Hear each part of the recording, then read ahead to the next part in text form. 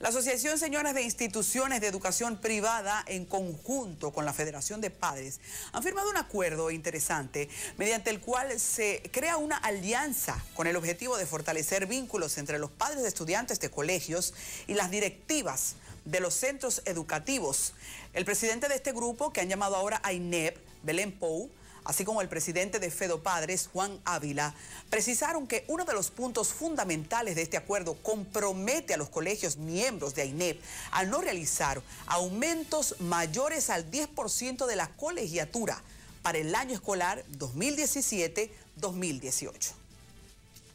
Y esto ante la queja de los padres que cada año reciben el golpe inesperado de un presupuesto que se infla sin alternativas porque no ha conseguido ningún gremio que se regule la tarifa y a final de cuentas hay que asumirlo porque imagine que usted tiene de alternativa enviar a una escuela pública o asumir el costo de una educación privada que es ya solo oferta y demanda.